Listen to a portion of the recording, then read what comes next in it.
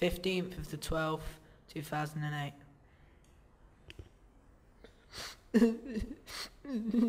My name is Harry. When I was 15, I got into weed.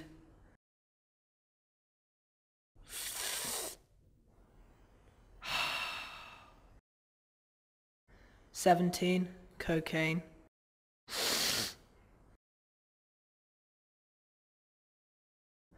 Eighteen, ecstasy. Twenty, heroin. I ran out of money and I owed my dealer a lot.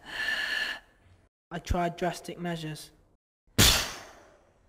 It left me like this. Drugs did this to me.